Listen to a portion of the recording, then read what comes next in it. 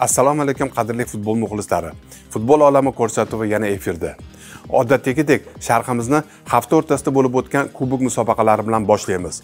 O'tgan haftada e va f guruhlarida ham ikkinchi tur bahslariga yakun yasaldi. Hamda keyingi bosqichga yo'l olgan yana uch jamoa nomi ma'lum bo'ldi. E guruhida pro liga vakili toshkentdagi lokomotiv klubi navoiyda mahalliy qizilqumga hech qanday imkoniyat qoldirmadi va ikki nol hisobida zafar quchib ochkolar sonini oltitaga yetkazib oldi va muddatdan oldin keyingi bosqichga yo'l oldi.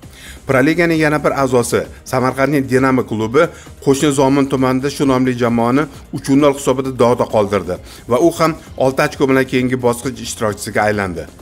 So'nggi turda dinamo va lokomotiv samarqandda o'zaro uchrashadi va aynan shu o'yin guruh g'olibi nomini aniqlab beradi. Shuni ta'kidlash joiz 4 iyun kuni bo'lib o'tadigan ushbu o'yinda temir yo'lchilarni durang ham qanoatlantiradi. Dinamoga esa faqat g'alaba zarur. Kubok bahslaridagi dastlabki sensatsiya aynan shu guruhda qayd etildi. Superliga a'zosi qizilqum ikkita pro liga va bitta birinchi liga vakili bilan joy olgan guruhdan keyingi bosqichga chiqa olmadi. Ev guruhida navbahor masalani so'nggi turgacha qoldirib o'tirmadi va andijon bilan kechgan vodiy derbisida kichik hisobda g'alaba qozonib muddatdan oldin keyingi bosqich yo'llanmasini hal qildi. Yosh va o'smir olimpiyachilar to'qnashuvida tajriba ustun keldi va timur kapadze shogirdlari yirik hisobda zafar quchdilar. Guruhda kim birinchi o'rinni olishi ham olimpikka bog'liq bo'lib qoldi. So'nggi turda ular o'z maydonlarida lochinlar ustidan zafar quchsalar guruh g'olibiga aylanadilar. O'yinda durang natija qayd etilsa navbahor birinchi olimpik esa ikkinchi o'rin bilan yo'llanma egasiga aylanadilar. Mabodo olimpiyachilar navbahordan yengilsalar unda andijonda ham keyingi bosqich imkoniyati paydo bo'ladi. Ushbu haftada jiva va guruhlarida ham ikkinchi tur uchrashuvlari bo'lib o'tadi. Ertaga superliga peshqadami paxtakor kichik poytaxt derbisida birinchi liga vakili do'stlik jamoasini mag'lub etsa muddatdan oldin keyingi bosqichga yo'l oladi. Sug'diyona pro liga a'zosi araldan ustun kelsa jizzaxliklarda ham keyingi bosqichga chiqish uchun yaxshi imkoniyat hosil bo'ladi. Va nihoyat o'ziga xosi bilan ajralib turadigan haj guruhidagi vaziyat. Bu guruhning o'ziga xosligi undan superligani birorta ham a'zo joy olmagan. Pro liga autsayderi xorazm birinchi ligani uch nafar a'zosiga qarshi kurash olib boradi. Ya'ni keyingi bosqichga chiqish uchun barcha jamoada ham imkoniyat mavjud. Bugun xorazm shahri xonchini qabul qiladi va g'alaba qozonsa muddatdan oldin yo'llanmaga ega bo'ladi. Lokomotiv bfk hamda paxtakor yetmish to'qqiz jamoalari bahsi ham qiziqarli o'tishi kutilmoqda. Demak ikki tur yakuniga ko'ra hozircha nimchorak finalga yo'l olgan jamoalar bilan tanishtiramiz. Okmk nasaf lokomotiv dinamo hamda navbahor. 19-22 may kunlari O'zbekiston Superligasida 11-tur uchrashuvlari bo'lib o'tdi. Turning markaziy o'yini Nasaf va Paxtakor bahsi poytaxtliklarning 8 nafar a'zosi yoshlar o'rtasida jahon chempionatida ishtirok etayotgani bois noma'lum muddatga qoldirildi. Shunga qaramasdan, ushbu turda bir qancha ehtimolga molik o'yinlar bo'lib o'tdi. Ulardan biri Bunyodkor Navbahor bahsi. Bu o'yinda lochinlar tarixiy g'alabaga erishishdi. G'alabaning tarixiyligi shundaki, nobahor shu paytgacha Bunyodkorni safarda mag'lub eta olmagandi. Bu o'yingacha poytaxtda o'tgan 17 ta uchrashuvning 3 tasida durang natija qayd etilgan, qolgan 14 bellashuvda Bunyodkorning qo'li baland kelgan. Hisobning yirik ko'rinishini esa namanganliklarni o'yinga tayyorlangan aniq strategiyasiga bog'lagan bo'lardim. Ahamiyat bersangiz, lochinlar bu yil 6 ta o'yinda zafar quchishgan bo'lsa, ularning bari quyi o'rinlardagi jamoalar bo'lishgan. Qizilqum, Metallurg, So'g'diyona, Andijon, Turon va Surxon. Yuqori o'rinlardagi 3 klub bilan safar o'yinlarida esa bor yo'g'i bir ochko qo'lga kiritilgan. Poytaxtda ikkita mag'lubiyat hamda Qarshida durang. Bunyodkor murabbiylar shtabining xatosi ular shu raqamlarni tahlil qilganlar va Navbahor biz bilan o'yinda ham ehtiyotkorlik bilan o'ynaydi degan xulosaga kelganlar. Sxema ham shunga yarasha tanlangan. Mudofaada ikkita markaziy himoyachi va qanotlarda asli winger bo'lgan o'yinchilarning joylashuvi. Usmonali Ismanaliyev ham, Viktor Sotnikov ham sof himoyachi emasligi barchaga ayon. Shu jumladan Navbahor murabbiylar shtabiga ham. Shu bois ham ular o'z shogirdlarini o'yinga boshqacha taktika va strategiya asosida tayyorlashgan. Ya'ni ehtiyotkorlik va pragmatik futbol emas, boshidan bosim uyushtirib, raqib himoyachilarini sarosimaga solish va yaxshi ijrochilardan tashkil topgan shogirdlar ustozlar ko'rsatmasini a'lo darajada uddalashdi. Boz ustiga Bunyodkor murabbiylari Navbahorning avvalgi turdagi Surxon bilan o'yinini sinchkovlik bilan o'rganishgan. Unda Oston O'ronov va abrorbek Ismoilov yarim himoya markaziga joylashgan. Qanotlarda Jasur Yaxshiboyev hamda asadbek sobirjonov harakatlanishgan edi sof hujumchi vazifasini esa shohruz norxonov bajargandi bunyodkor bilan o'yinda samvey babayan butun asosni o'zgartirib tashladi. Yaxshiboyev sobirjonov va norxonovlarni zaxirada qoldirdi. Markazni yovan jokich va jamshid boltaboyev bilan mustahkamladi. Ostonov o'zining sevimli chap qanot vingerligi joyini oldi. Hamda aynan shu o'zgarishlar yakunda yirik g'alabaning asosiy omiliga aylandi. O'yinning boshlanishiga ahamiyat bering. Ikkinchi daqiqadayoq o'runov aleksey naskoni osonlikcha aldab o'tib darvozabon bilan yolg'iz qolyapti. Uchinchi daqiqada boltaboyev darvoza tomon bemalol zarba bermoqda. To'rtinchi daqiqada o'runovning zarbasidan so'ng maydon egalarini darvoza ustuni qutqarmoqda. Ana shu ssenariy qaldirg'ochlar uchun ogoh qo'ng'irog'i bo'lishi lozim edi. Lekin murabbiylar shtabi buni anglab yetguncha lochinlar darvozani to'rt marta ishg'ol qilib bo'lgandilar. Dastlab o'runov aslida himoyachi bo'lmagan ismonaliyevdan osonlikcha o'tib to'pni sherigiga aniq yetkazib berdi. Boltaboyevning zarbasi ko'ngildagidek chiqmagan bo'lsa-da u ustundan qaytgan to'pni o'zi boshi bilan darvozaga yo'lladi va hisobni ochdi.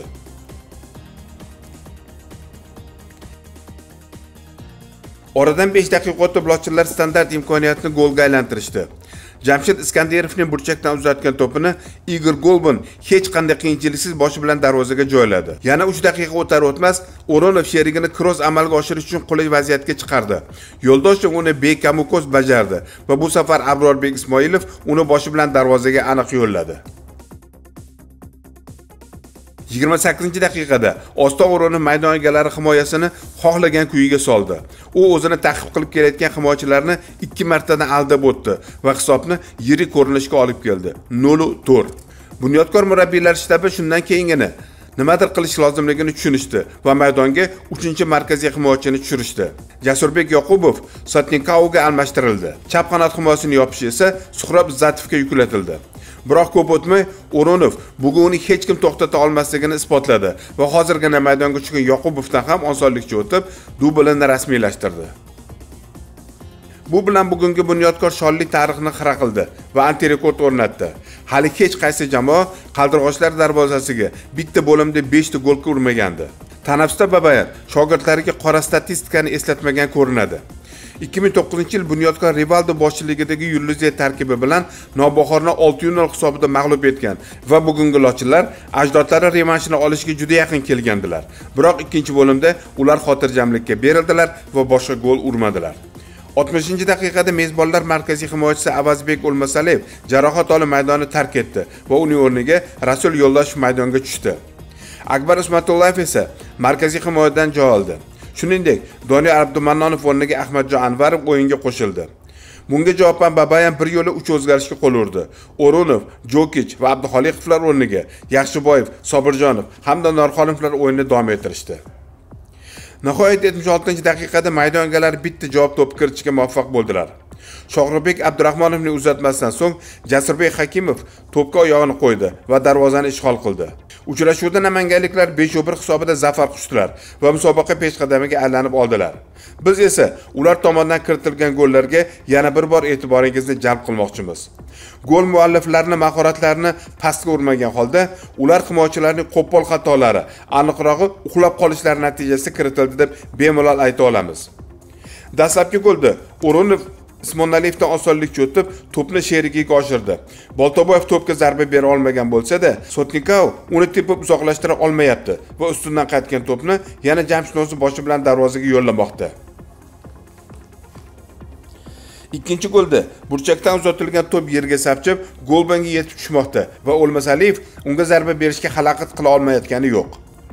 Uchinchisida yo'ldoshev qanotdan to'pni markazga oshirmoqda. Mezbonlarning belaruslik legioneri satnikov oyog'ini ko'targuncha ismoilov boshi bilan zarba berishga ulgurmoqda. To'rtinchi va beshinchi gollarga hech qanday izoh yo'q. O'runov shunchaki raqib himoyachilarining ustidan kuldi. Tamom vassalom o'yindan keyingi matbuot anjumanida bunyodkor bosh murabbiy murod otajonov himoyada davron ergashev yetishmaganini aytibdi birinchidan ergashev jamoa sardori sifatida hammani tartibga chaqirish o'rniga hayvoniy harakatlari bilan provokatsiyaga chorladi va haqli ravishda beshta o'yinga chetlatildi. Ikkinchidan u eng zo'r emas o'rtamiyona himoyachi hisoblanadi.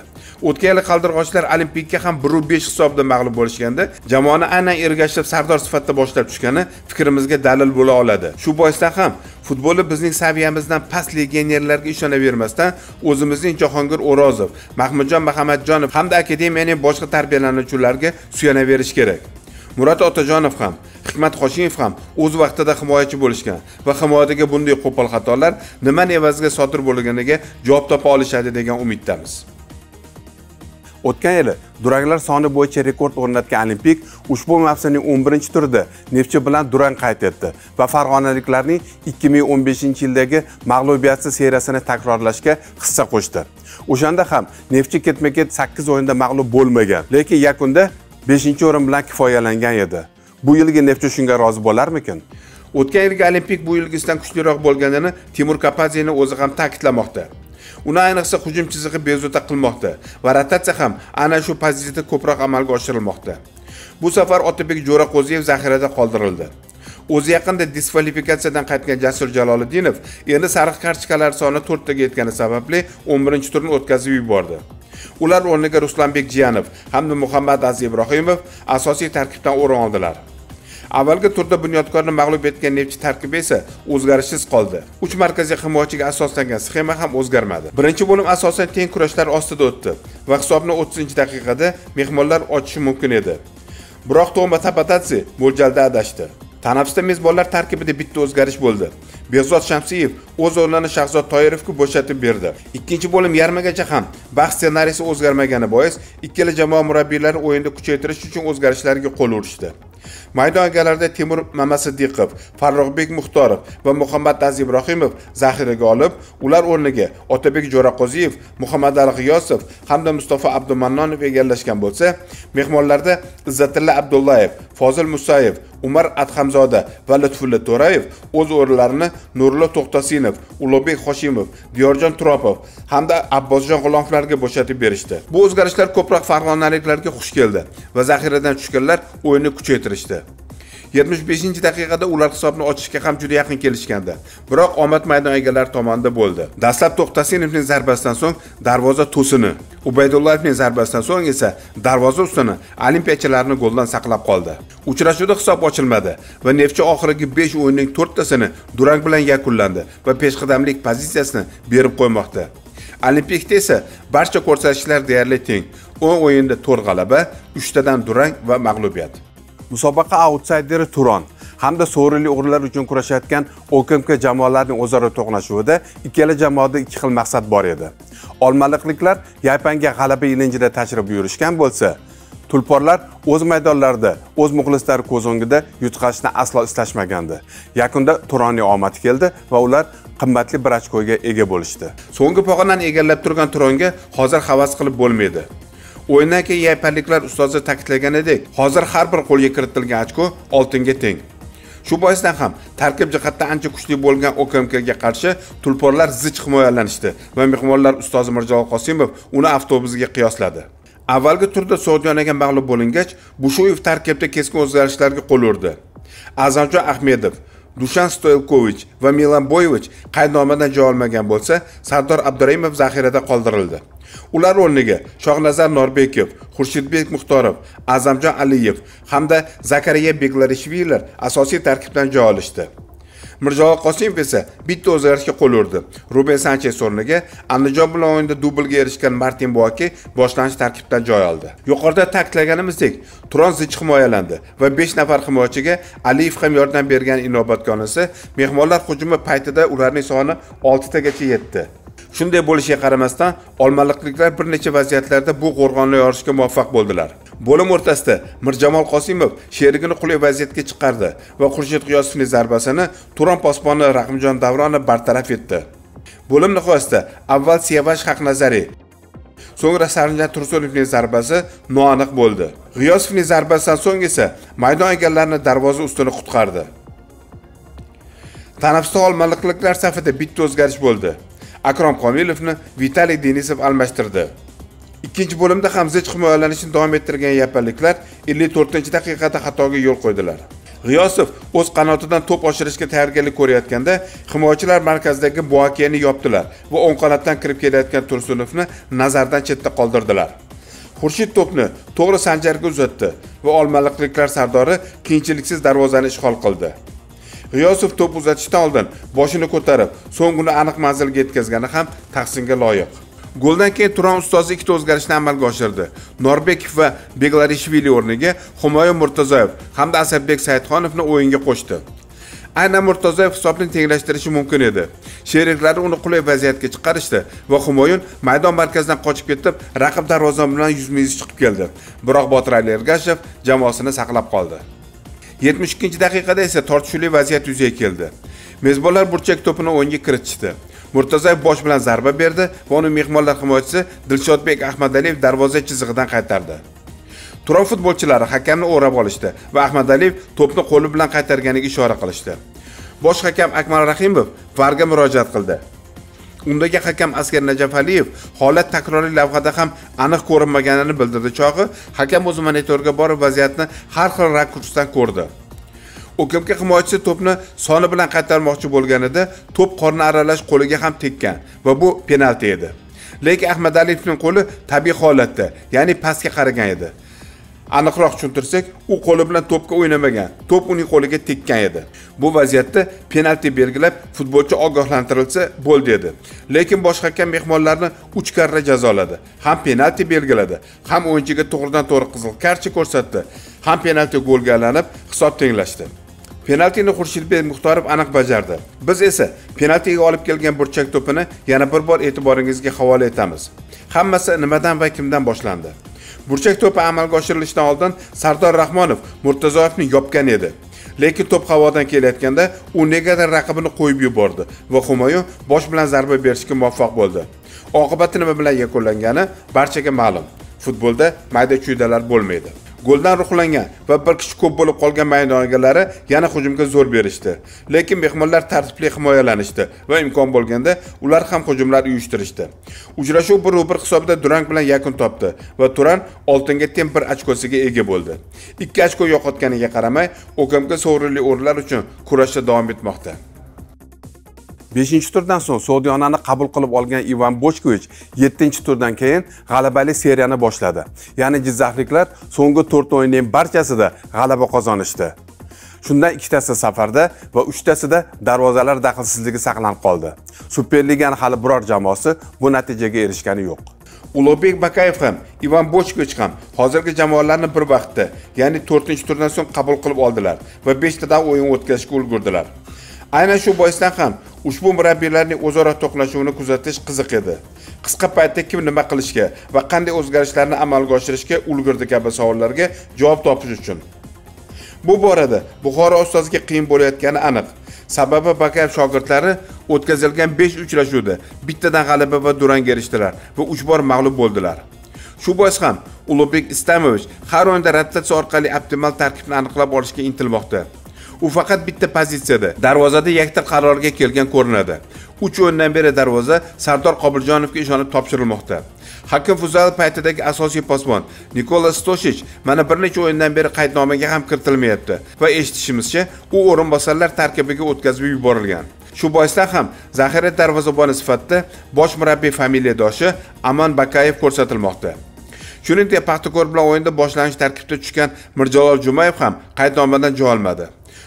ro'zimboy ahmedov va javohir ro'ziyev zaxirada qoldirildi va ular o'rniga humoyun mirzo iminov jamoliddin ubaydullayev hamda aleksandr kasyanlar asosiy tarkibdan joy olishdi.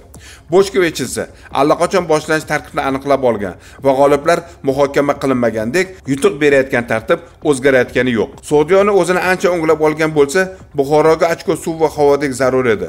Shu bois ham maydon egalari o'yinni hujumkor ruhda boshladilar va 19 daqiqada hisobni ham ochgandilar. Biroq biroq hakamlar brigadasining qo'pol xatosi tufayli ushbu gol inobatga olinmadi va yakunda o'yin natijasiga ham katta ta'sir ko'rsatdi.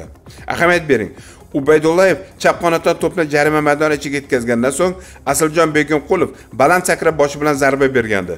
To'p to'g'ri kasyanga kelib tushdi va hujumchi uni bo'sh darvozaga yo'llayotgan paytda qanot hakami ruslan seraziddinov bayroqchasini ko'tarib o'yindan tashqari holatni qayd etdi. Bosh hakam g'ayrat jo'rayev qanot hakamiga ishondi va golni inobatga olmadi. Biroq var fikrini ham kutdi. Ana shunda eng qizig'i boshlandi. Var hakami husan muzaffarov va avar hakami jasur rustamov yaqqol ko'rinib turgan holatni juda uzoq o'rganishdi va kasyanda ofsaydni qayd etishdi. Ular-ku mayli yosh tajribasizdir. Lekin ikki turdan beri var hakamlari ishini nazorat qiladigan alohida var nazoratchisi ham belgilanmoqda. Va buxorodagi bu vazifa tajribali timur abdullayevga yuklatilgan edi. Nahotki uch nafar mutaxassis ushbu kadr orqali mehmonlarning oltinchi raqamli futbolchisi alisher salimov kasyandan orqaroqda turishganini ilg'ashmagan bo'lsa? Yoki var nazoratchisi hakamlar xato qilayotganini ko'rib tursa ham ularning ishiga aralashmasmikan? Keyinchalik bu holatda qo'pol xatoga yo'l qo'yilganini o'zbekiston futbol hakamlari markazi ham tan oldi va quyidagicha bayonot berdi. Ushbu vaziyatda mezbonlarning to'qqizinchi raqamli futbolchisi aleksandr kasyan o'yindan tashqari holatda bo'lmagani qanot hamda var hakamlari holatga noto'g'ri baho bergani ma'lum bo'ldi. Shu tufayli uchala arbitrga o'yin uchun belgilangan maoshning 25 foizi miqdorida jarima jazosi qo'llanildi. Bo'ldimi? Faqat shumi? Bitta oyligini to'rtdan birini jarimaga beradi va bemalol keyingi o'yinga tayyorlanaveradi shunaqami? Bu yerda butun bir viloyat jamoasini taqdiri hal bo'lgan-ku axir. Shunga qaramasdan maydon egalari bosimni to'xtatmadilar va 39 daqiqada gol kiritish uchun juda yaxshi imkoniyatga ega bo'ldilar.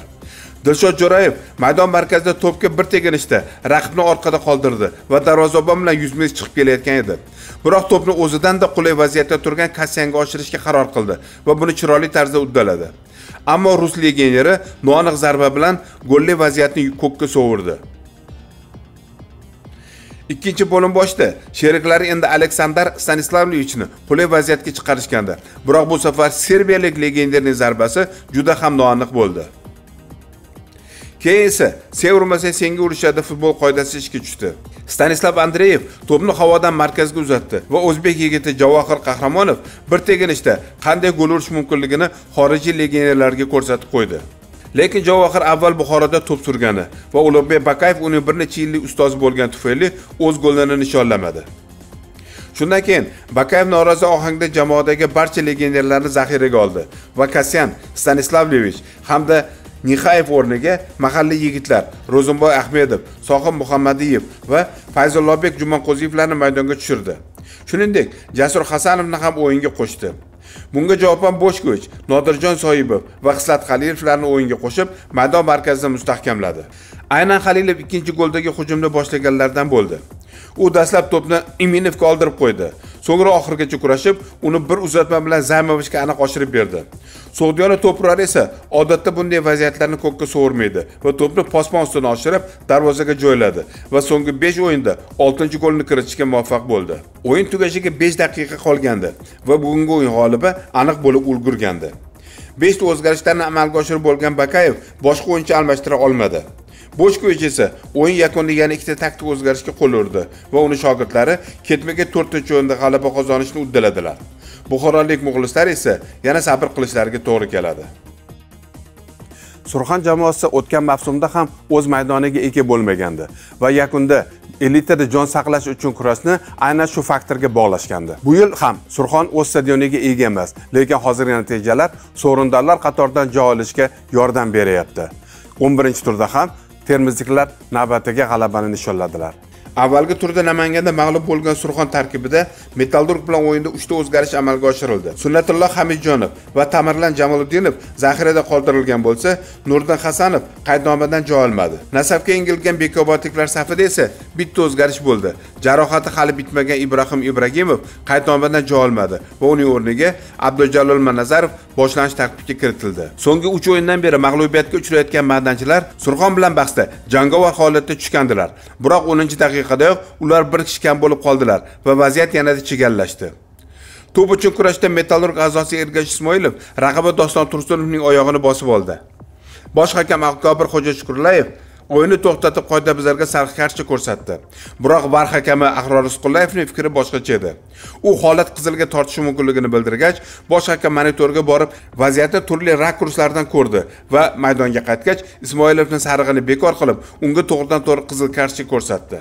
Shu tariqa o'tgan turda super goli bilan qahramonga aylangan futbolchi bu safar 10 daqiqadayoq maydondan chetlatilib anti qahramonga aylandi. Biroq mehmonlarning bir kishi kam bo'lib harakatlanishi bor yo'g'i 13 daqiqa davom etdi. Surxon azoz kamron saidazimov to'p uchun kurashda oyog'ini baland ko'tardi va to'p aralash muhammadali aliqulovning boshiga ham tepdi. Bosh hakam qoidabuzarni ogohlantirdi.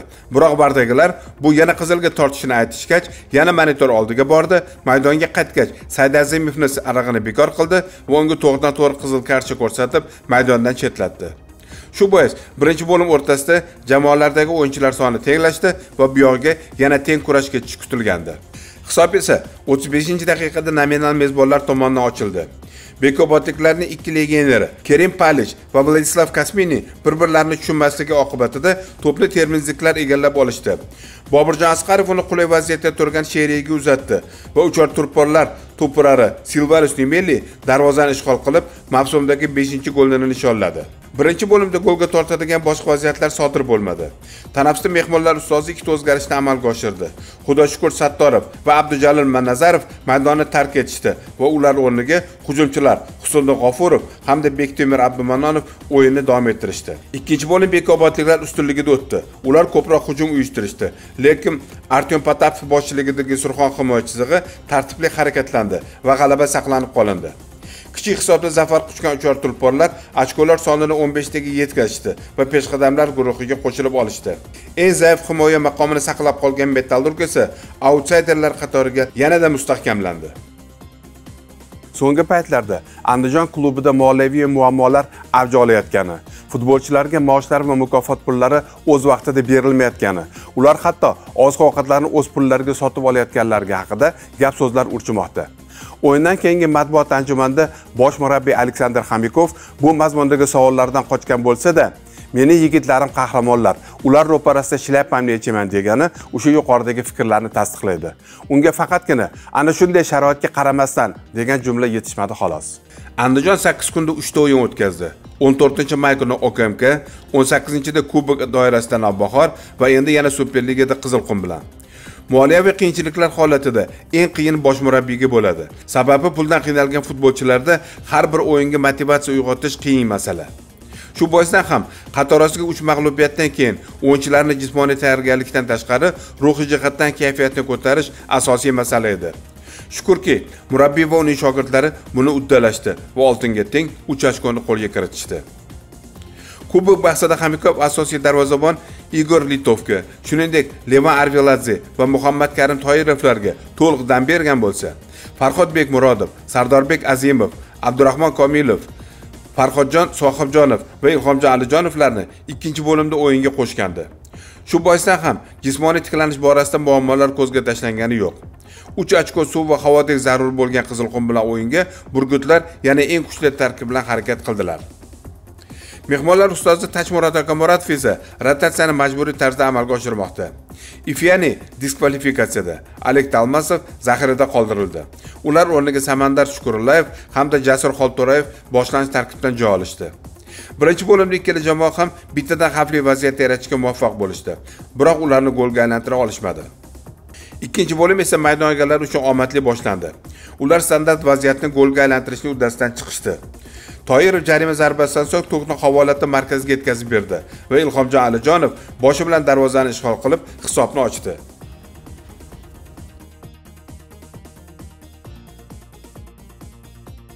Oradan 5 daqiqa o'tmasdan hisob tenglashgandi. Sanoyevning qanotdan uzatgan to'pini mboma darvozaga aniq yo'llagandi. Qanot hakami sardor hakimov hech qanday ishora qilmay maydon markazi tomon yugurdi. Bosh hakam rustam choriyev ham maydon markaziga ishora qilib golni tasdiqladi. Gol muallifi ham to'pni olib kelib maydon markaziga qo'ydi. Lekin mehmonlar baxtiga var hakami askar najafaliyev aniq ishladi va mboma o'yindan tashqari holatda bo'lganini bildirdi. Bosh hakam yosh bo'lsa-da, tajribali hisoblangan hamkasbining gapiga ishondi, monitorga borib ham o'tirmadi va golni bekor qildi. Hisob qaltisligi va istalgan paytda tenglashishini his qilgan Hamikov o'yinni kuchaytirish uchun bir yo'li uch o'zgarishni amalga oshirdi. Dilshodjon Komilov, Farhodjon Soyibjonov va muhammadkarim Toyirovlar o'rniga Ilhomjon Abdug'aniyev ildar mamatkazin hamda nodari kaptaradzelarni maydonga tushirdi. Keyinroq esa sardarbek aziyevni adashi abdunabiyevga almashtirdi. Bunga javoban agamurodov rahmatullayev va xolto'rayevlar o'rniga davron anvarov hamda oybek nurmatovni o'yinga qo'shdi. Biroq nurmatov maydonda faqat 12 daqiqagina harakat qildi. O'yin tugashiga 5 daqiqa qolganda bobomurod bozorov uni almashtirdi. O'yindan keyingi matbuot anjumanida qizilqum ustozi buni standart vaziyatda bosh bilan yaxshi o'ynaydigan futbolchi zarur bo'lgani uchungina bu o'zgarishga qo'l urilganini bildirdi. Nega bu qarorga 12 daqiqa oldin kelmaganiga esa izoh bermadi. Hakam qo'shib bergan daqiqalarda standart vaziyat belgilandi faqat mehmonlar darvozasiga va bunda bosh bilan yaxshi o'ynashning umuman keragi yo'q edi. To'p navoiyliklar jarima maydoni ichiga yetkazilganda qizilqum a'zosi murodbek rahmatov raqibi kaftaradzeni chalib yiqitdi va hakam 11 metrlik nuqtani ko'rsatdi. Burgutlar to'pirari ruben xibay uni aniq bajardi va mavsumdagi gollar sonini 6 taga yetkazib oldi. 100 daqiqadan oshiq davom etgan bahs andijonliklarning 2-0 hisobidagi g'alabasi bilan yakun topdi va ular nihoyat xavfli zonani tark etdilar. Oltin qazuvchilar esa qumga cho'kishda davom etmoqdalar. Poytaxtda yirik hisobda g'alaba qozongan navbahor 12 turga kelib karvonboshi maqomiga ega bo'ldi. To'g'ri bir kam ochkoga ega bo'lgan paxtakor zaxirasida bitta o'yin bor lekin ushbu qoldirilgan uchrashuv qarshida bo'lib o'tadi va unda kim g'alaba qozonishini hech kim bilmaydi. Musobaqa jadvali to'purallar poygasi hamda keyingi tur anonsi bilan tanishtiramiz. Yirik hisobdagi g'alaba lochinlarga to'plar nisbatini yaxshilab olishga ham yordam berdi. Endi ular eng ko'p to'p kiritgan va eng kam gol o'tkazib yuborgan jamoaga aylanishdi. Nasab bilan qoldirilgan o'yinda paxtakor durang qayd etsa ham ochkolar soni bo'yicha navbahorga tenglashib oladi. Biroq bu uchrashuv qachon o'tkazilishiga hali oydinlik kiritilmagan. 11 turdan keyin jadval yana ikkiga bo'lindi. Lekin teng ravishda emas. Birinchidan to'qqizinchi o'ringacha joylashgan klublar sovrinli o'rinlar uchun kurashni davom ettirsa o'ninchi o'n to'rtinchi o'rin egalari elitada jon saqlash uchun kurash olib borishadi. Neftchi hali mag'lub bo'lmagan. Turan esa g'alaba qozonmagan maqomni saqlab turishibdi. To'purarlar poygasi dragon cherenni quvlash davom etmoqda. Endi zenan zaymovich va ruben xibay hisobidagi gollar soni oltitaga yetdi. Silvanus nimelli 5 ta golga mualliflik qilgan. Ahamiyat bering yuqorgi pog'onaga joylashgan 4 futbolchining barchasi legioner hisoblanadi. Oston o'runov husniddin aliqulov hamda xurshid g'iyosovlar to'rtta gol bilan keyingi o'rinlarni band etishgan. 12 tur bahslari 26-29 may oralig'ida bo'lib o'tadi va bizni bir qancha qiziqarli to'qnashuvlar kutib turibdi. Musobaqa peshqadamda nobahor namanganda yosh olimpiyachilarni imtihondan o'tkazadi va bu o'yin ko'pchilikda qiziqish uyg'otishi shubhasiz farg'onadagi andijon turon vodiy derbisi ham murosasiz o'tishi kutilmoqda. Jizzaxdagi sog'diyona nasab bahsi shiddatli o'tishi taxmin qilinmoqda qolgan juftliklar okmk buxoro qizilqum neftchi metallurg bunyodkor paxtakor surxon. Mana aziz futbol muxlislari ko'rsatuvimizning ushbu soni ham o'z nihoyasiga yetdi. Bugun argentinada bo'lib o'tayotgan yoshlar o'rtasidagi jahon chempionatida yurtdoshlarimiz yangi zelandiya terma jamoasi bilan kuch sinashadi ushbu uchrashuvdagi g'alaba yurtdoshlarimizning keyingi bosqichga chiqishi uchun tashlangan katta qadam bo'ladi. Biz ularga omad va zafarlar yor bo'lishini tilab qolamiz. Siz azizlar bilan esa 23 may sanasida uchrashamiz va nasib qilsa superliganing 12 turi yakunlari hamda kubok bahslari haqida suhbatlashamiz. Hozircha esa xayr doimo sog' bo'ling.